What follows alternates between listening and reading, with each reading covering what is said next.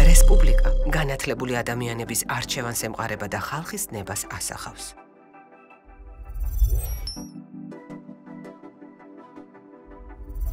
როცა 1918-1921 წლის პრესას ვკითხულობთ, ნათლად ჩანს, რომ ქართული საზოგადოებისათვის ბუნებრივი და ჩვეული იყო სოლიდარობა და მატერიალური ურთიერთდახმარება ძნელბედობის ჟამს. ამ გზას ადგენენ კერძო პირები, ახლად შექმნილი საზოგადოებები, მუშები, მაშინდელი საქმოსნები და მეცენატები, პრესა.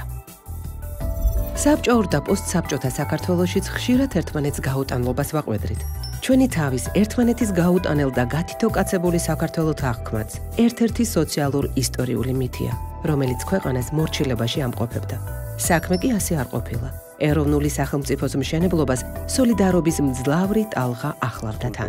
შეიძლება ითქვას, შეიცვალა, შეიზღუდა, გადაფორმატდა ძირითადი ელემენტები დაიკარგა და დღეს უკვე ჩვენ ვართ აი ამ მემკვიდრეობის წინაშე, როცა გვიწევს ხელახლა ვისწავლოთ და გავიხსენოთ ის, რაც აი 100 წლის წინ, ასე ვთქვათ, ბუნებრივი ორგანული ნაწილი იყო ჩვენი წინაპრების, მათი საზოგადოების ყოველდღიური ყოფითი კულტურის უკვე.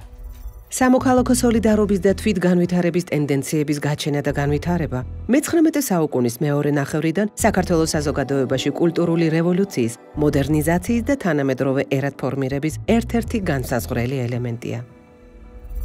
მოქალაქის მისი უფლებების, ამოცანებისა და ვალდებულებების არსის, პრესის, ლიტერატურის, თეატრისა თუ სხვა იმდროინდელი მედიით დანერგვისა და პოპულარიზაციის კვალდაკვალ პოლიტიკური მოძრაობების წარმოშობისა და განვითარების ფონზე ადამიანთა ჯგუფების შეკავშირება საერთო ეკონომიკური, კულტურული თუ პოლიტიკური საჭიროებების მოსაგვარებლად თანამედროვე დასავლური ტიპის საზოგადოებად გარდაქმნის კაფიო ნიშნად ითვლებოდა.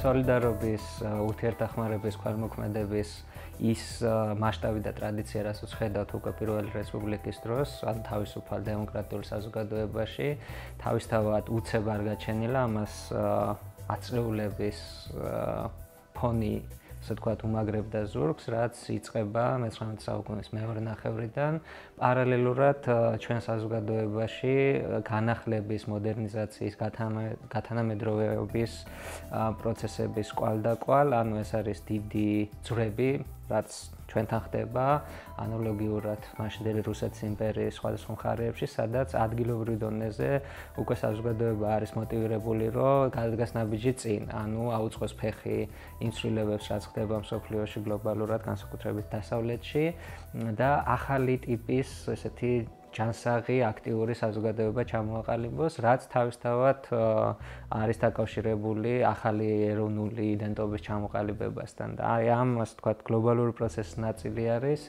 ინიციატივების, ურთიერთდახმარების, თვითგანვითარების კულტურის დამკვიდრება, რომელსაც უნდა ჩაენაცვლებინა ძველი და როგორც მაშინ ეძახდნენ დრომოჭმული მავნეჩვეულებები, რაც ასე ვთქვათ ფეოდალური და გვიან ფეოდალური საზოგადოებისთვის იყო დამახასიათებელი. პირველი მსოფლიო ომის შემდგომ ევროპაში და განსაკუთრებით ყოფილი რუსეთის იმპერიის ტერიტორიაზე, მათ შორის საქართველოშიც ეკონომიკური კრიზისია. საქართველოს ახლა ჩობილი დემოკრატიული რესპუბლიკის მწირი რესურსები ყველაფერს ვერ გასწვდებოდა და ამდენად სახელმწიფო ინსტიტუტები ზოგჯერ თავად მოუწოდებდნენ მოქალაქეებს სოლიდარობის კამპანიაში ჩართვისაკენ. სამინისტროები, სამაზრო ერობები ახალისებდნენ, მცირე რესურსებით ხელს უწყობდნენ ადგილობრივ ინიციატივებს. დამოუკიდებელი გაერთიანებები და საინიციატივო ჯგუფები ასე ფინანსურ თუ მატერიალურ დახმარებას იღებდნენ საზოგადოებისათვის ან თემისათვის მნიშვნელოვანი საქმის წამოსაწყებად. თავის მხრივ, მოქალაქეებიც ეხმარებოდნენ გაჭირვებულებს თუ სახელმწიფო ინსტიტუტებს, როცა ამის აუცილებლობა იქნებოდა. ეს კი საკმაოდ ხშირად ხდებოდა. მაშინდელი ქართული პრესა ამ დღის წესრიგის მქონე არის, რომ მან უნდა გააცნოს და აკავშიროს ერთმანეთთან მკითხველები და საზოგადოებები დასავლეთ საქართველოს უკიდურეს მხარიდან აღმოსავლეთ საქართველოს, ასე ვთქვათ, მეორე უკიდურეს მხარეს და გაუჩინოს მათ შეგრძნება, რომ ისინი ერთი სხეულის ნაწილი არიან, შეიძლება ასე ითქვას. და თავისთავად აი ეს კამპანიები ძალიან კაფიოთ და ასე ვთქვათ მოხდენილად ჩდება მთელ ამ პროცესში. 1920 წლის 20 თებერვალს გორის მაზრაში მომხდარმა მიწისძვრამ ქვეყანა შეძრა. მიწისძვრამ გაანადგურა ქალაქი გორი და მიმდებარე სოფლები. ზოგიერთ სოფელში და თავად გორშიც შენობების 95% დაინგრა. მიწისძვრამ ოფიციალურად 129 ადამიანი იმსხვერპლა. დაშავდა 600-ზე მეტი. სახლკარი გაუნადგურდა 7000-ზე მეტ ოჯახს. მეორე დღესვე გაზეთები მოქალაქეებს მოუწოდებდნენ გულისხმიერებისა და გორელების დახმარებისაკენ. იბეჭდებოდა სტატიები, სადაც აღწერილი იყო გორში შექმნილი მძიმე ვითარება. კითხულს აცნობდნენ განადგურებული სოფლების მდგომარეობას. პირველი დახმარება გორელებს რესპუბლიკის მთავრობამ აღმოუჩინა. გამოიყო ათეულობით მილიონი მანეთი. მაზრაში გაიგზავნა ჯარი, სახალხო გვარდია და სამედიცინო სანიტარული ჯგუფები. სამოქალაქო სოლიდარობა ფეხდაფეხ მიყვა სახელმწიფო დახმარებას. დაზარალებულ გორელთა დასახმარებლად გაერთიანდა სხვადასხვა საზოგადოებრივი დაწესებულება. დაიწყეს საქულმოქმედო კონცერტების, ლექციების, წარმოდგენების ლატარიის, ლოტოსა და სხვა მსგავს ღონისძიებათა გამართვა. კლუბებმა, თეატრებმა და საქველმოქმედო საზოგადოებებმა ასობით ათასი მანეთი შეაგროვეს. 1920 წლის თებერვლის ბოლოს გაზეთები იტყობინებოდნენ, რომ გორის მიწისძვრისაგან დაზარალებულთა დასახმარებლად მოქალაქეებმა სულ რამდენიმე დღეში მილიონ ნახევარი მანეთი შეაგროვეს.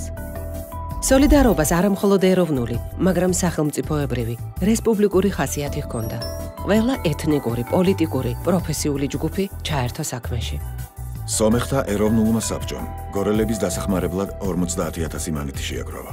გაზეთი ერთობა იტყობინებოდა. საქართველოსი მოსახლე გერმანელთა კოლონიების კავშირმა დაადგინა მიწისძვრისაგან დაზარალებულ გორელთა სასარგებლოდ კოლონიის მაცხოვრებლებს გააწერონ ერთდროული გადასახადი. გორელების დასახმარებლად გაერთიანდნენ აფხაზები. სოხუმის ოლქის ადმინისტრაციისა და წარმომადგენლობითი ორგანოს წევრებმა გორელების დასახმარებლად გადადეს თავიანთი ჯამაგირის ნაწილი. ადგილობრივმა ხელისუფლებამ შექმნა გორელების დახმარების ფონდები და სურსათი გააგზავნა გორში. საქართველოს დემოკრატიული რესპუბლიკის თითოეულ ქალაქსა და სასოფლო თემში შეიქმნა გორელების დამხმარე კომიტეტები. განსაკუთრებით დიდი რაოდენობის თანხები შეაგროვეს ინდუსტრიულ ცენტრებში არსებულმა დამხმარე კომიტეტებმა, რომლებმაც ფული მუშათა შორის მოკრიბეს. სახალხო საქმე იტყობინებოდა. ფოთის პოსტა ტელეგრაფის და ტელეფონის მომსახურეებმა თავიანთი ჯამაგირის ერთი დღის ხვედრი გადადვეს გორის ფონდისთვის. თავრობის კანცელარიის მომსახურეებმა დაადგინეს 6 თვის განმავლობაში თავისი ჯამაგირიდან გადასდონ გორის ფონდისათვის. უფროსმა მომსახურეებმა 5%, ხოლო უმცირესებმა 3%. პროფესიონალურმა კავშირებმა თანახმად ხელმძღვანელ ორგანოების წინადადებისა გადასწყვიტეს მომავალ კვირას მარტის 14 სიმუშაო და ამ დღის ქირა გადასდონ მიწისძვრისაგან დაზარალებულთა დასახმარებლად. ქალაქ ბათუმში სხვადასხვა დაწესებულების მომსახურეებმა და ქარხნის მუშებმა სოციალ-დემოკრატიული ორგანიზაციების დახმარებით ნიშნულოვანი თანხა შეაგროვეს. გაზეთი ერთობა იტყობინებოდა გორის მაზრაში მიწის ზრისაგან დაზარალებულთა დამხმარე ბათუმის კომიტეტმა შეაგროვა და დანიშნულებისამებრ გადასცა 1.400.000 მანეთი. 100.000ობით მანეთი შეაგროვეს ჭიათურელმა მუშებმა. შემოწირულობა გაიღეს მიზერულ ანაზღაურებაზე მომუშავე მეურმეებმაც კი. ანგარიში ჭიათურის მუშა მომსახურეებში შეკრებილ ფულებისა გორის მიწის ზრისაგან დაზარალებულთა სასარგებლოდ. პაპავას მუშებისაგან 24950 მანეთი. მიუსელების მუშებისაგან 11627 მანეთი. ჩომახიძე სამხარაძის მუშებისაგან 7188 მანეთი. სიმონოვის მუშებისაგან 4735 მანეთი. დარკვეთის მუშებისაგან 2685 მანეთი. შავი ქვის ჩამომზიდავ მეურმეებისაგან 14000 მანეთი. ჭიათურის ქალაქის თვითმართველობის მომსახურეთაგან 8615 მანეთი. შავი ქვის სამრეწველო დაწესებულების მომსახურეთაგან 10480 მანეთი. ვაგონის მტვირთავ მუშებისაგან 18360 მანეთი. სულ 102350 მანეთი. აღნიშნული თანხა გადაეცა მთავარ კომიტეტს თბილისში. ჭიათურის პროფესიულ კავშირთა საბჭოს თავმჯდომარე ანთელიძე. სოლიდარობის კამპანიის მაორგანიზებელი პოლიტიკური პარტიებიც იყო. ყველაზე დიდი სოციალ-დემოკრატიული პარტიის ორგანიზაციებმა მილიონობით მანეთის შეგროვება მოახერხეს. 1920 წლის განმავლობაში ასევე მუდმივად იბეჭდებოდა ცნობები, რომ გორელებისათვის ფინანსურ დახმარებას აგზავნიდნენ საზღვარგარეთ მყოფი ქართველებიც. მოქალაქეები და საზოგადოებრივი ორგანიზაციები მიწისძვრით დაზარალებულ გორელებს არამხოლოდ ფულს, არამედ სურსათს, ტანსაცმელს, კარვებს, მედიკამენტებს, სათბობ მასალებს, პირუტყვის საკვებს უგროვებდნენ და უგზავნიდნენ. ფართო სოლიდარობის კამპანიის წარმოებისას იქნებოდა ერთიანი ფონდები, რომლისთვისაც ფულს აგროვებდნენ როგორც უკვე გაცხადებულად სხვადასხვა გაზეთების რედაქციები, საზოგადოებრივი ორგანიზაციები, ასევე ადგილობრივი თვითმმართველობები, ბანკის ფილიალებიც კი. ამ ფართო კამპანიის წარმოებისას, როგორც წესი, ამ ფონდს და ზოგადად ამ კამპანიას გაანჩნდა ერთგვარი ადმინისტრაციაც, იქნებოდა სპეციალური კომიტეტები, რომლებიც თქვათ კონკრეტული საჭიროებისათვის აგროვებდნენ ამ თანხებს. მაგალითად, განსაკუთრებით ამგვარი ადმინისტრაციები აქტიურად შეიქმნა დემოკრატიული რესპუბლიკის პირობებში. მსგავსი, ასე თქვათ, სოლიდარობის კამპანიის წარმოებელი, საზოგადოების მობილიზაციის მობილიზაციის მომშავე ორგანიზაციები შეიქმნა რესპუბლიკის პერიოდში.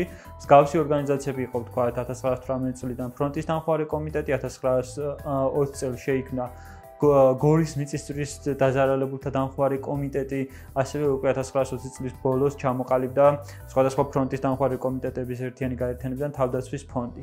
საინტერესოა რომ ამგვარ კომიტეტებს, ამგვარ ადმინისტრაციებს, ფონდებს, რომლებიც მობილიზაციას უკეთებდნენ, ასე თქვა საზოგადოებრივი ჩართულობისა და აგროვებდნენ თანხებს კონკრეტული საჭიროების საჭიროებისათვის, ხშირად არც თუ იშვიათად ხელმძღვანელობდნენ საჯარო პირები და ცნობილი საზოგადოებისთვის ცნობილი სახეები, მაგალითად 1918-20 წლებში მსგავს ორგანიზაციებს ხელმძღვანელობდა დამსწრებელი კრების ქვესტორი, იგივე ადმინისტრაციის ხელმძღვანელი, საკანონმდებლო ორგანოს ადმინისტრაციის ხელმძღვანელი სერგო ჟორჟოლიანი, ხოლო 1920 წელს მთავარი თავდაცვის კომიტეტის, ასე ვთქვათ, ხელმძღვანელი გახდა ძალიან ცნობილი პოლიტიკოსი, დამხმარებელი კრების სოციალ-დემოკრატიული ფრაქციის თავმჯდომარე, ყოფილი საგარეო საქმეთა მინისტრი აკაკი ჩხენკელი.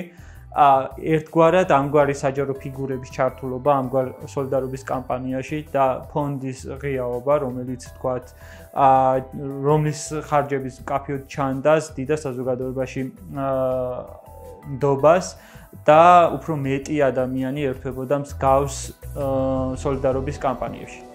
რესპუბლიკა ჩვენი ისტორიაა. სოლიდარობა ჩვენი ტრადიციაა.